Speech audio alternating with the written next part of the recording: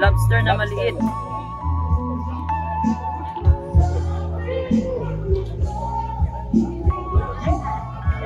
Yan, so, yung budget meal, 200, pero dalawa na. 40 pesos yung same. So, nakasave ka ng 40 pesos kasi dalawa na. Ano po pangalan natin ulit, sir? Jong. Jong, ayan, Kuya Jong. Kung babalik tayo sa ah, 30 years old na Jong, ano yung mapapayo mo nung 30 years old ka pa? Bata pa sa ngayon. Yung mga karamihan ngayon mga kabataan na. If you find this segment informative, please click the thumbs up button and subscribe to stay updated with our latest news and share this broadcast to your friends and family. Your support helps us keep you informed. Help us get our first 10,000 subscribers. Your engagement matters. Liking, sharing, and subscribing to our content not only helps more people discover the important stories we bring you, but also supports our team's hard work. It boosts our visibility in the algorithm, making it easier for others to find ways to stay informed. Thank you for being part of our community.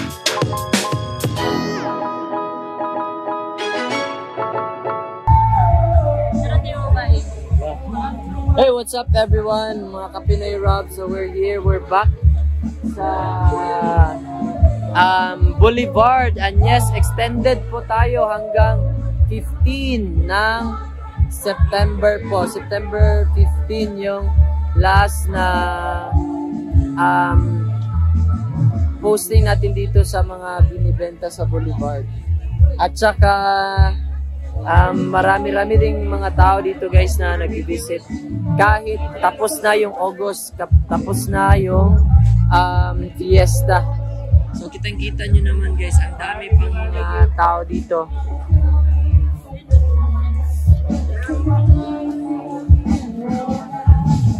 So, meron ding iba na nag, hindi na nag-continue like that. Okay, 1, 2, 3. So, meron ding iba na nag, hindi na nag-continue but uh, majority of the business owners ay nandito pa rin. Kasi marami pa talaga mga tao na gustong mag um, akumain at saka magbanding kasama ng pamilya dito sa ano sa Boulevard. Ayan, so isa dito sa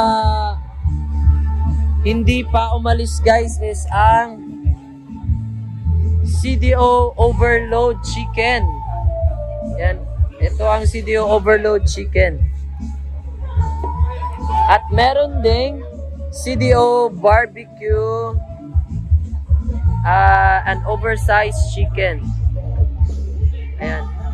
Sir, kasama po ba to sir? Uh, overload, CDO overload chicken at saka CDO overload barbecue, our barbecue. An oversized. Ayan. So, kailan po kayo nag-start dito na mag, ano sir, mag-display? August. August 9. August 9. Tama po.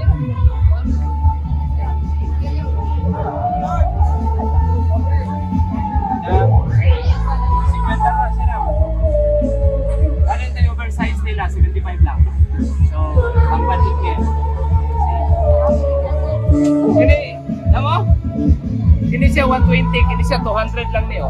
Dapat ay 180. Luwa na siya. Ang budget meal na siya. Kini, tag, individual na 180, ah, 120. Kini, oh, luha, 200. Kini, Kini pa do? 180 na. 75 lang. Malipart niya po sa ina po ba? Kiro, kiro, kiro. Dapat na ito na, 100.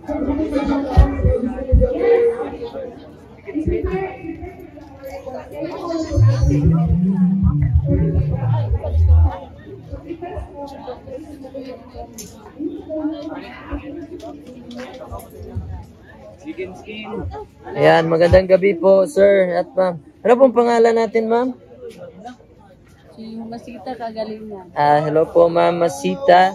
And sir, ano pong pangalan natin, sir? Jong. Jong, Kuya Jong at ma'am Masita. Ayan. So, kailan po ba to nag-start yung CDO barbecue at saka CDO ah, overload chicken? Last year, last year. And so, ibig sabihin, ah, meron kayong ah, hindi lang Boulevard na store. Yes po, uh, naamig yapon sa night market sa Kugon. Night market sa Pugon. So, yung unang ano display nyo sa night market sa Pugon. Yes, yes sir. Ah, okay. So, so nung nag-offer yung ano ah, Boulevard, so ginrab nyo. Ayan. So, buti sir na nag-ano kayo, nag-extend kayo. Oo, kasi kuan mo jatong niyagi, sulan ulan siya. So ang mga tao wala tayo nakasuroy. So mas mayo gi-extend ni mayor mo lang makalaag yun tanan. Ayan. So, ka, para kahit makabawi, makabawi sa ano, sa Kita. kita. Eh, okay naman. Okay naman. Wala Ayan. problema sa kita. Ayan. So, so far, yung August, sir. Kumusta naman yung August na benta natin dito sa ano? Thumbs Okay. Thumbs up. So, okay na okay. So, ano pong best seller ninyo dito, sir? Ito yung ano, yung oversized chicken namin. Oversized chicken. Pang budget meal kasi yan eh. Pang budget meal. Yung individual natin is 120. Yung individual, 120. 120. Ah. Oh, ito yung pang budget meal namin, 200. Dalawa yung, na. yung budget meal, 200. Oh, pero dalawa na na. 40 40 pesos yung save. So, nakasave ka ng 40 pesos kasi dalawa na. Ito yung, yung chicken skin at saka barbecue, tag-save mayroon tag 50. Oversize namin 75 lang. Okay, so, Bali dalawa siya, ginawa namin 75 lang. ah 75, dalawa. Mm. So, ito yung chicken skin Chicken skin, at saka pork barbecue. pork barbecue. Ito. Ah. makasave ka talaga. Saka may mga seafoods din. Merong seafoods. oyster. Kahit anong makita mo, makakain mo. Yes, sir. Kasi seafood siya eh. so, nagets na diretso ni sir. Ayan, so ano pa po binibenta natin dito, Ito sir? yung tuna. Yung tuna. Tuna pa nga, 100 lang yan. So, tuna pa nga, 100.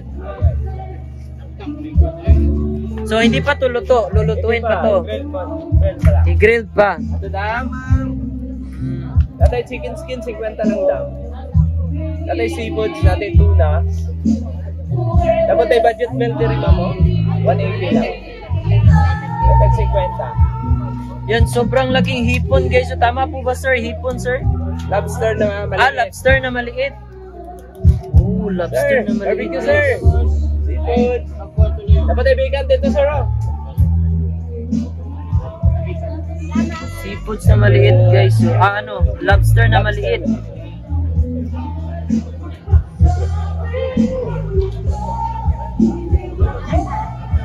Yan, so, ba't ibang ano, nasa stick? Hindi lang lobster. sir. Dapat ay talaba. Kilaw-kilaw. Dapat ay oversized sir. Budget meal na mo is 200 lang ni. Imbes to 40, 200 na lang. Kini 75 lang sir. Pork, pork barbecue. Sa ribs na namin sir, humok na. Tapos, marin- marinated din siya.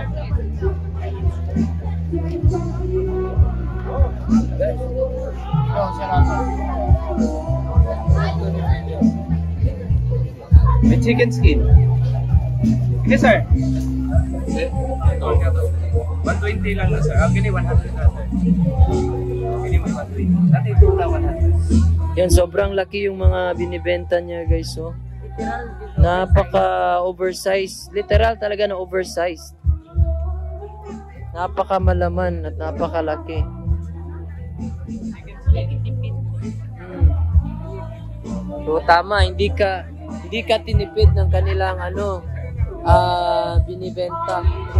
Napaka buo, malaman at napakalaki.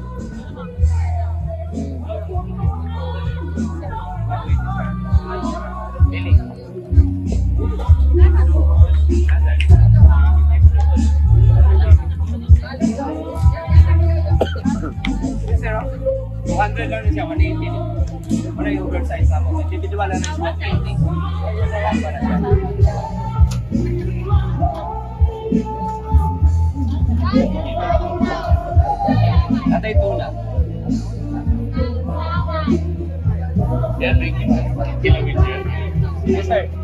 Wala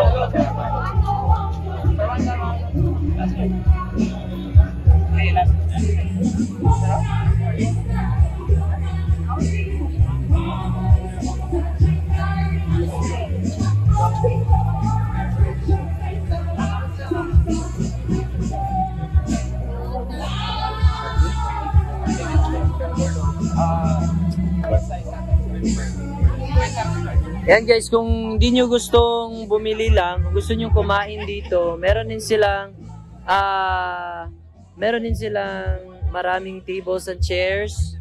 Okay, for dine in. Okay, marami silang ano tables and chairs dito. Okay. So ayan guys. Maraming tables and chairs. At also sarap din kumain kasi yung view, napakasarap ng view nila guys dito guys. Ah, sa tabi lang talaga ng ah, river. So kasama ng pamilya, ah, jowa nyo, sino yung jowa nyo dyan, yung mga kapatid, barkada, pwedeng pwede dito guys.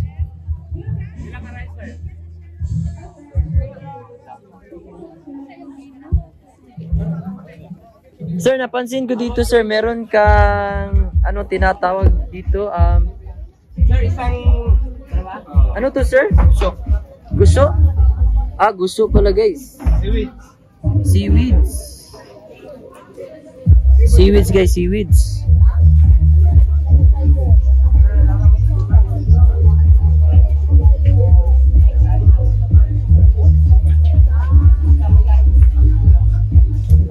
Sa...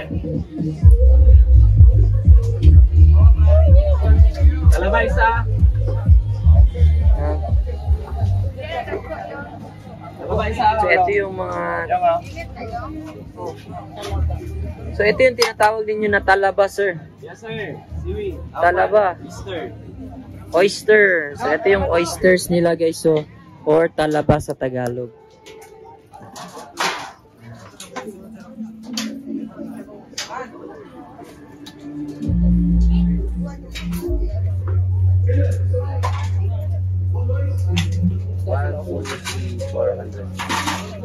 Sir, 400. Thank you, sir.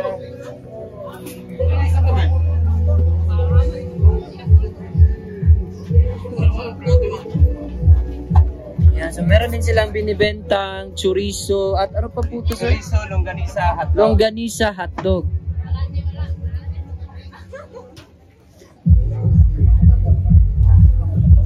Sir, nabuha ko cellphone ba eh? Okay ba to? Ito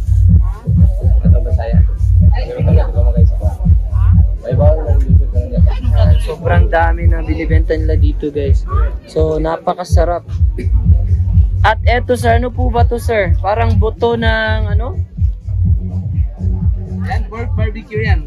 Pork barbecue. Ah, Sorry, ah, anong tawag nun sa part? Ah, part sa part ng ano, sa ribs. Ah, part sa ribs.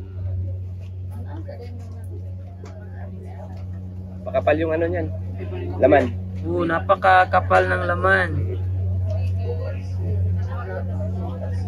So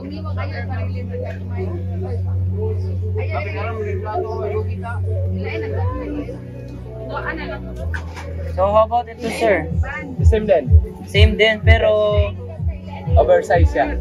oversized. 75 lang.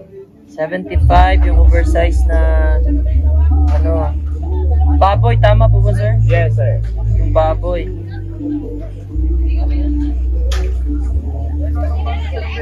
Yan guys. So, so kung gusto nilang kumain sir, magkano po ba yung ano rice nila ah, natin dito? 20 pesos yung rice. 20 pesos Pero yung rice. solid. Marami talaga. ma- maraming rice. Okay, at saka soft drinks. Meron po bang soft drinks? Kompleto po. At saka water, meron din. Merong water, soft drinks. Ayan, 25 kompleto lang. dito. 25. At saka kung wala kayong cash, meron din silang GCash, GCash. guys na pwede kayong magbayad online. Yan. Oo. So sino pong ano nagka-idea na ano sir? Um gawa na gumawa ng negosyong ito. Yung kapatid ko. Yung kapatid mo. So yung kapatid mo is ah, cook ba siya o ano? Hindi. Na ano lang namin to, namana lang namin to sa daddy namin. Ah, namanan nyo lang sa daddy Yung nyo. mahilig siya mag ano, magluto-luto. Mahilig siya magluto talaga yung daddy mo. So ano ba siya? Culinary siya? Ay, yung kapatid mo. Hindi. Ang uh, medtech yung daddy namin. Ah, medtech yung daddy nyo. Pero, yung kapatid mo yung ano, Hindi rin. hindi rin. Talagang na ano lang talaga. Na, nahiligan. Ah, nahiligan. So, pero yung tatay mo is nagkukuk din. Yeah, sa, Mm. sa amin lang sa bahay. So, may negosyo ba kayo nung una? Wala. Wala. Talagang Ah. nag-work lahat. Work lahat. Maliban sa pagluluto na negosyo. Hindi pa rin. Yung yung kabaguhan lang. Mabaguhan lang. Ah, okay. Na kuha namin yung mas maganda pala magnegosyo lang. Oh, ah, so you just realize na mas Kaysa okay mag- magnegosyo kaysa maging empleyado. Yeah. Ayan, so ano po ba yung advantage pag nagnenegosyo ka? Ikaw yung boss. Ikaw yung boss. Ikaw yung nagdadala ng time mo lahat. Ikaw ang nagdadala ng time. Ayan sir, kung kung babalik tayo sa ah, ilang taon na po ba kayo sir? 50 na. 50, ayan. So kung bumalik tayo 20 years from now sir. So ano po pangalan natin ulit sir? Jong. Jong, ayan, Kuya Jong.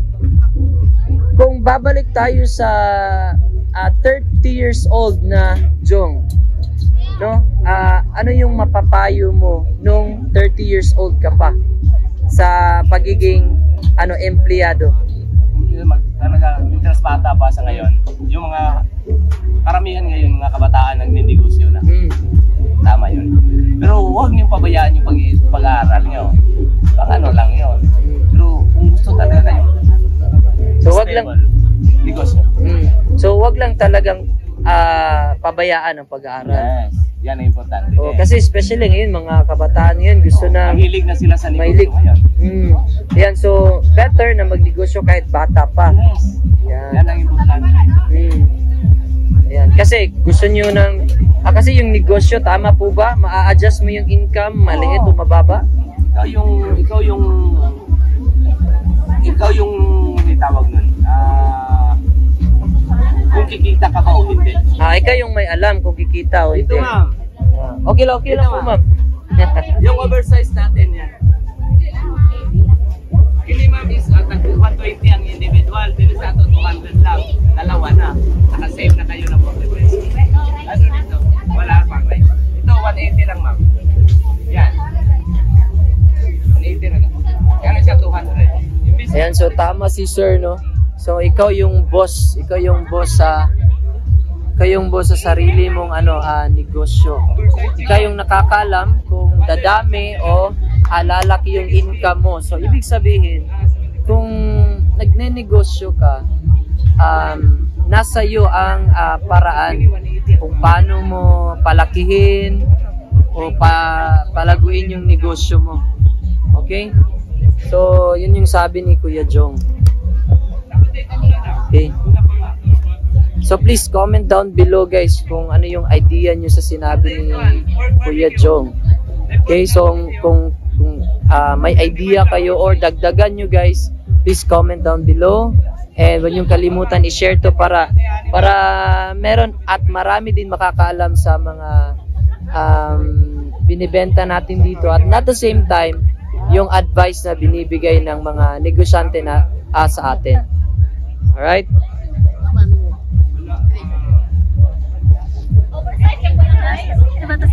Yes ma'am. Alright.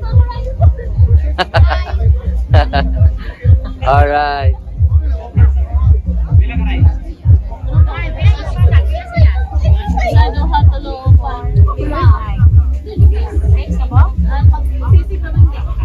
tulungan? Yan, so madaming customer si Kuya Jong guys kasi ah yung mga binibenta niya is over, over na over talaga. Oversized. Lahat is oversized. So hindi ka talaga tinitipid ng kanilang binibenta. napakadami at napakalaki, napakamalaman. At makakasave ka pa guys.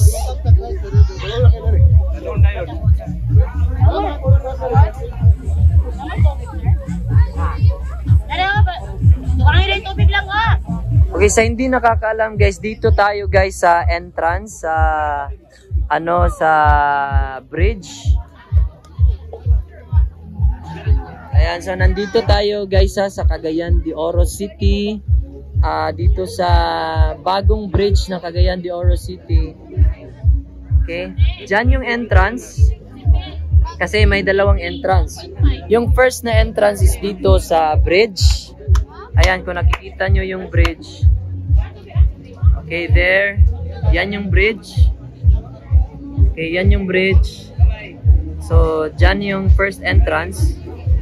At saka yung second en- entrance guys is dun sa ano, ah, tinatawag nila na ah, middle ng boulevard. Okay, sa kalagitnaan ng boulevard. Okay, sa kalagitnaan ng boulevard. So, maraming stall doon. Maraming stall at saka medyo malayo kay Kuya Jong or sa CDO Barbecue and oversized chicken. Pero, pag dito ka sa first entrance, galing sa bridge, ah malapit lang kang Kuya Jong dito guys. And again, ah magsasara na yung festival ah, market dito sa Boulevard ah, this coming 15, so ah, September 15. So please don't forget to visit and um, malapit-lapit na po yung ano ah, katapusan ng festival market dito sa Boulevard Cagayan de Oro City. And babalik to guys, sabi nila babalik daw to sa December, okay? So December pa, medyo malayo pa. So please experience muna, muna lang ah, bago mag-close yung ah, market ah, festival. Igalaay Festival Market dito sa Boulevard. So habang ah, nag namamasyal kayo dito, then experience na lang yung ano, oversized chicken ni ah, Kuya Jong. Alright. Ayan sir. So ano po ba yung mapapayo niyo sir sa mga ano um mga nagbago lang nag-open ng mga negosyo nila. Kasi kasi napansin ko sa user um hindi kayo gaano I, I mean hindi kayo galing sa culinary sa abroad para magluto pero still marami na kayong tao dito. Kapamilya niyo po ba to? Yes, sir. ah, pamilya niyo lang to. So, ibig sabihin, ah, kayong lahat pamilya nagtulong-tulong para sa negosyo. Ayan. So, sabi mo kanina, sir, kung ikaw yung business owner, alam mo kung paano palakihin yung negosyo, Depende sa iyo. depende sa iyo. Right. So, ibig sabihin, hindi na required na may profession ka pa na graduate ka sa ano. Wala na. Ito yung sister-in-law ko. Mm. Ito yung pamangkin ko. Mm. Saka yung, Yung sister-in-law mo, pamangkin, at saka yung kapatid ko yung isa. kapatid mo yung isa. Yung iba, yung trabahante na namin. Oh, yung iba, trabahante mo na. Ayan, so si talaga, meron, Kami talaga yung pero kayo yung foundation, okay? Foundation ng Hindi negosyo. namin i-ano lang sa tiwala sa tao. Ah, okay. Ayan, so yan yung ibang question po ng mga tao, sir. Kasi maraming mga tao na maraming negosyo, pero pinagkatiwala nila sa ibang tao. Pero sa, sa inyong palagay, sir, okay po ba yun o talagang dapat kayo lang talaga yung mag-handle? Talagang una- ah, enhance ka talaga sa On- business niya. Mm, Para dapat- para makita mo ano yung ano yung idagdag nyo or ano yung kulang. Ah, okay. So kasi pag pag hindi mo alam yung ano nasa Pag soldado ka lang kasi, mm, ah, hayaan mo na. ayan, so pag soldado, ng sweldo eh. oh. Pero pag kayo talaga yung Ah, okay. talagang maghahanap ka talaga ng Mm, self. tama, tama. Iba iba yung ikaw yung ah, nag-handle talagang ng negosyo kasi um kasi pag tatanggap ka lang ng ano ni, ah, sweldo, okay lang kasi may fixed na sweldo ka. Pero yung negosyante, ah, owner ng negosyo, alam mo talaga na at saka hindi mo gusto ma-bankrupt. Talaga gagawin mo lahat para ma ah, expand yung business. Oh, diyan lang mga Ayan, so tama naman guys, no? Mm. Ayan. So, merong, ah, kung may papayo po kayo sa mga nag-open ng businesses, sir, dito sa Cagayan de Oro City, ano po ba yun? Isa lang, sipag at yaga. Sipag at syaga. Yan lang. Kung marunong kanyo yan, talagang expand yung business nyo. So, sipag at syaga. So, yan, yan lang yung ah, secret ata ni Kuya Jong. Okay? Sipag at syaga. Hindi profession, hindi ano ah, pinag-aralan, but sipag at syaga lang talaga, guys. Okay, so how about sa mga tao, sir, na kanang gustong gumaya sa inyo na mag, ano, mag negosyo, ah, for example, yung barbecue. Pero hindi sila marunong mag, ano, magluto. Lalago po ba yung Ano business? na sir? ngayon, marami na tayo ngayon sa social media. Dali lang, pag, dali lang makano, matuto. Mm. Hindi katulad ng dati, talagang Mm. mag-aaral ka pa talaga. Ah, Ngayon, isang okay. click mo lang, wala na, kita mo na lahat. Ah, so ibig Yung sabihin, naka-advantage ngayon sa kabataan. ah, okay. So ibig sabihin, kahit hindi ka marunong magluto, maraming social platform. Pagtsagaan mo lang. Pagsipagan mo talaga, ano kaya to? Ito yung ano, normal lang. Mm. Ano kaya ang gawin natin para mas i-enhance mo? Ah, okay. Sir, barbecue, sir. Kasi nandyan na yung ano guys, yung social platform. Okay, so lahat nandun na sa social media. So, ah, ibig sabihin, ibig sabihin, so sa sipag at syaga. Dito sila. Mm. Okay. Makapalit man dito, sir, pero is, palihin lagi nila sa... Ah. ayan, so sa sipag at syaga guys, kahit, kahit hindi ka marunong magluto, maraming social platform na pwede nating pag-aralan. Ayan, so invite natin yung future customers natin, sir, na hindi pa nakapunta dito. Yung hindi pa nakapunta dito sa Rio Boulevard, hanggang 16 pa kami dito. Mm. Punta mo na kayo at tikman yung luto namin. Thank you. Ayan, so there you have it guys, Kuya Jong and CDO Barbecue and Oversized Chicken. Ayan, wave po tayo Kuya. Ayan, thank you so much. Okay. Yan. So, that's it. So, that's it. So, yan guys. So, isa lang si Kuya Jong no, sa mga nag-continue sa pag-display dito sa Boulevard. Okay? So, kayo hindi pa nakapunta dito sa Rio Boulevard, visit na kayo at ah, wag niyo pag um, wag na kayong magaksaya ng oras na pumunta dito guys kasi ah, still nap meron pa dito napakasarap pa din yung mga pagkain na nagde-display dito sa Rio Boulevard. Okay? So that's all. Thank you so much everyone.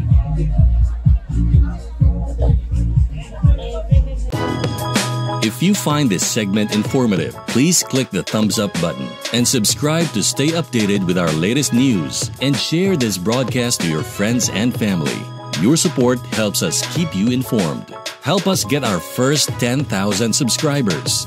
Your engagement matters. Liking, sharing, and subscribing to our content not only helps more people discover the important stories we bring you, but also supports our team's hard work.